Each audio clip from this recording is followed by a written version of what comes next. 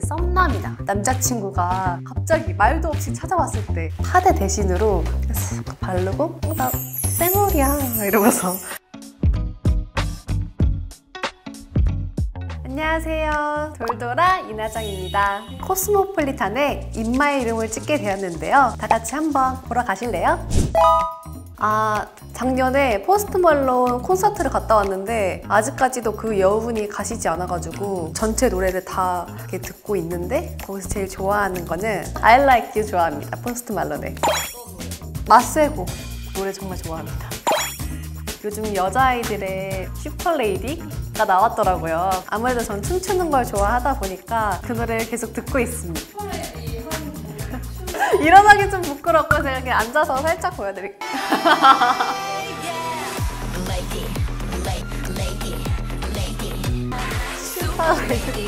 뭐 때문에 파- 팔이 안 올라가 이게 끝이야.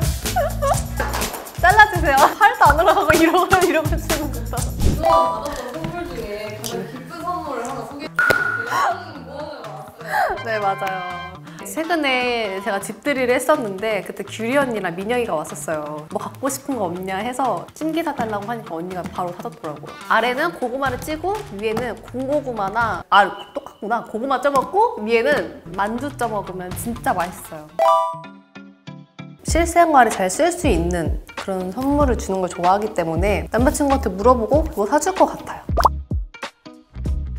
갖고 싶은 게 조금 하나 생기긴 했어요. 큰 냄비를 갖고 싶어요. 1인용짜리 조그만 냄비를 샀어요. 근데 제가 손이 커가지고 찌개 같은 거 하려고 하면 너무 조그매야 되니까 두고두고 먹고 싶어요. 뭐 카레를 하든 김치찌개를 하든 된장찌개를 하든.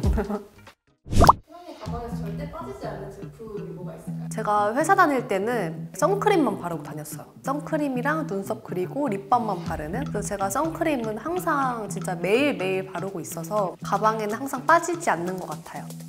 또 어떤 선크림 쓰세요? 전 달바 선크림을 쓰고 있는데 달바가 모든 제품이 비건 인증이 됐다고 해가지고 좀 더 손이 자주 가는 것 같아요. 원래 화장품에 달바를 쓰신다고 네.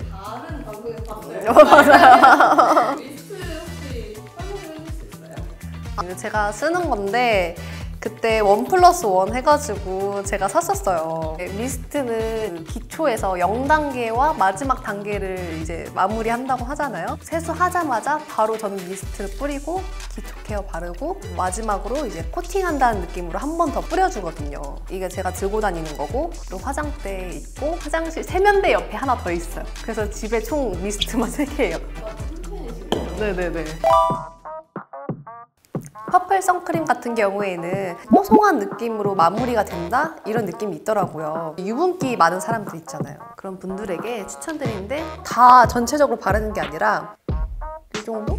그 유분기 있는 데다가 소량으로 톡톡톡톡 펴발라주는 게 가장 베스트거든요. 이걸 쓸 때 항상 에센스랑 좀 섞어서 바르고 있거든요. 그러면 속은 촉촉하고 겉은 뽀송하게 마무리가 되는 느낌이어서 너무 좋은 것 같아요.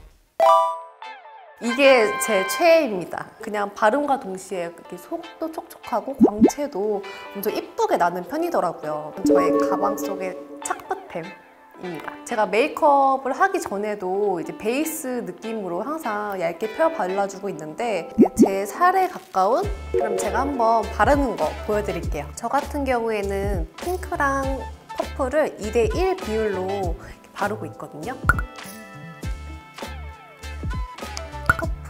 진짜 조금만 살짝 정도? 섞어주세요. 속은 촉촉한데 번들거림 없이 제 살 같은 느낌으로 발색이 되니까 더 자주 찾게 되는 것 같아요. 저처럼 이제 메이크업하기 귀찮거나 좀 피부가 쉬고 싶을 때 그리고 이제 썸남이나 남자친구가 갑자기 말도 없이 찾아왔을 때 쌩얼인 척은 또 하고 싶어. 그럴 때 약간 파데 대신으로 쓱 바르고 어, 나 쌩얼이야 이러면서 근데 광채는 나 그럴 때 꼭 추천드립니다 지금 올리브영에서 달바 waterfull tone-up 선크림이 핑크와 purple이 one plus one 행사를 하고 있다 해요. 여러분들도 이 기획 놓치지 마세요.